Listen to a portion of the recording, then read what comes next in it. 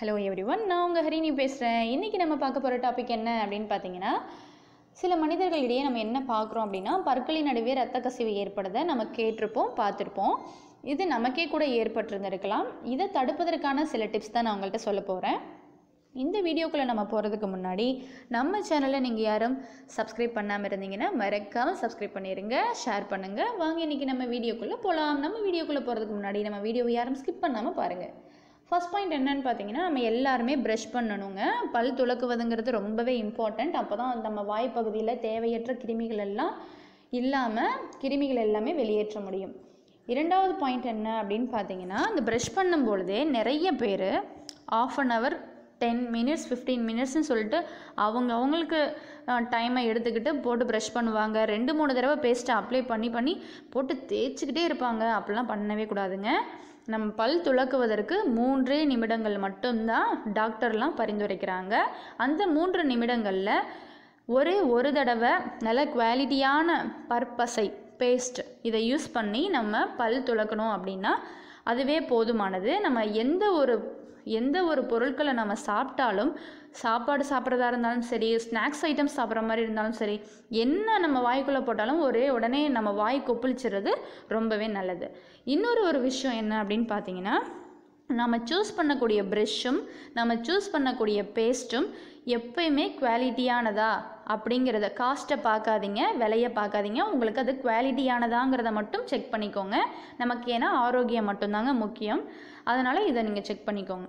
ரெண்டாவது என்ன அப்படின்னு பார்த்தீங்கன்னா நமது ஈறுகளை பல்லிற்கு மேலே உள்ள ஈறுகளை நம்ம கை விரல்களால் கொண்டு ஒரு மசாஜ் மாதிரி நம்ம பண்ணி விடணும்.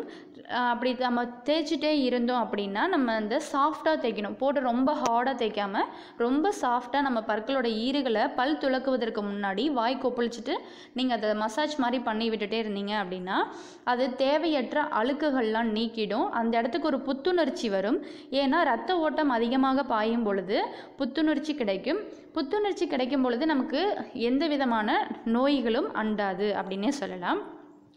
மூன்றாவது என்ன அப்படின்னு பார்த்தீங்கன்னா நம்ம எல்லாத்துக்கும் நம்ம டைம் ஸ்பெண்ட் பண்ணுறோம் நம்ம ஆஃபீஸ் போகிறதுக்கு பஸ்ஸில் ட்ராவல் பண்ணுறதுக்குன்னு சொல்லிட்டு எல்லாத்துக்கும் நம்ம வந்து டைம் ஸ்பெண்ட் பண்ணுறோம் அதே போல் நம்ம வாய் பகுதிக்குன்னு சொல்லிட்டு சில நிமிடங்களையாவது நம்ம ஒதுக்கி தான் ஆகணும். அந்த எப்படி நீங்கள் அதை சொல்கிறீங்க என்ன பண்ணணும்? அப்படின்னு கேட்டிங்கன்னா நம்மளுக்கு எப்போ எப்போல்லாம் டைம் கிடைக்குதோ ஒரு டம்ளர் ஹாட் வாட்டர் வச்சுக்கோங்க. அதில் ஒரு டேபிள் ஸ்பூன் உப்பு அது இல்லாமல் ஒரு டேபிள் ஸ்பூன் எலுமிச்சம்பழ சாறு. இது வச்சுக்கோங்க. இது மூணையுமே நல்லா மிக்ஸ் பண்ணிக்கோங்க. உங்கள் வாய் பகுதியை தாங்கக்கூடிய அளவு சுடு தண்ணீரை எடுத்து நல்லா வாய எல்லா பகுதியிலையுமே அந்த தண்ணி போகிற மாதிரி முழுங்கிடாதீங்க. நல்லா ப்ரஷ் நல்லா வாயை கொப்பளிச்சுக்கோங்க. கொப்பளிச்சுட்டு அந்த வா அந்த வாட்டரை வந்து துப்பிடுங்க. அந்த மாதிரி நீங்கள் பண்ணிகிட்டே இருந்தீங்கன்னா உங்களுக்கு ரொம்பவே நல்ல ஒரு பெனிஃபிட் கிடைக்கும். பற்கூச்சங்கள் வராது. தேவையற்ற கிருமிகள் நம்மளுக்கு நம்ம சாப்பிடும்போது தேவையில்லாமல் போய் இந்த ஜ சேர்றதும் பற்களுக்கு நடுவே சேர்ந்துறது எல்லாமே ரிமூவ் ஆகி வெளியில் வந்துடும் இன்னொரு பாயிண்ட் என்ன அப்படின்னு பார்த்தீங்கன்னா வாரத்திற்கு ஒரு முறையாச்சும் நம்ம எல்லாரும் வேப்பங்குச்சியால் பல் துலக்குவது ரொம்பவே நல்லது. வேப்பங்குச்சிக்கு நான் எங்கம்மா போவேன் நீ படிசுமா சொல்லிட்டு இருக்கியே அப்படின்னு நீங்கள் சொல்லலாம். வேப்பங்குச்சி வந்து இல்லாத இடமே இப்போ எதுவுமே இல்லைங்க. ஃபாரின்லலாம் கூட இப்போ வேப்ப மரம் இருக்குது அப்படின்னே எல்லாம் நம்ம யூஸில் கேட்டு தான் இருக்கும். அப்படி இல்லை அப்படின்னா நீங்கள் ஆன்லைனில் நீங்கள் புக் பண்ணிக்கலாம். வேப்பங்குச்சியை பயன்படுத்துவது ரொம்பவே நல்லது. இது நம்ம முன்னோர்களும் சொல்லியிருக்காங்க.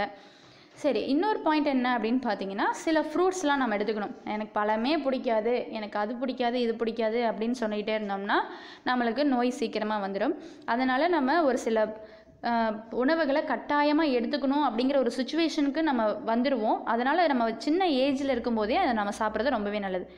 ஃபஸ்ட்டு என்ன அப்படின்னு பார்த்தீங்கன்னா கொய்யாப்பழம் சாப்பிட்லாம்.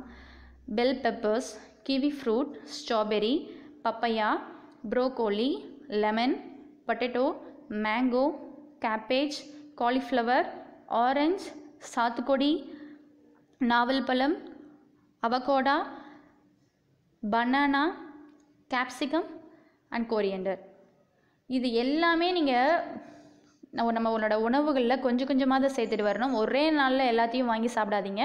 ஒவ்வொரு நாளும் நம்மளோட காஸ்ட்டுக்கு தகுந்த மாதிரி அதோட நம்ம சுச்சுவேஷனுக்கு தகுந்த மாதிரி நீங்கள் வாங்கி சாப்பிட்டுட்டீங்க அப்படின்னா ரொம்பவே நல்லது. இந்த கொய்யாப்பழம்லாம் நமக்கு வந்து சாதாரணமாகவே சாப்பிட்லாம்.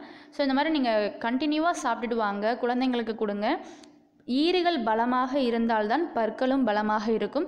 ஸோ நம்ம ஈறுகளை தான் பாதுகாக்கணும். அப்போ தான் பற்கள் போனாலும் ஒரு வேறு விதமான பல்லை கூட நம்ம கட்டிக்க முடியும்.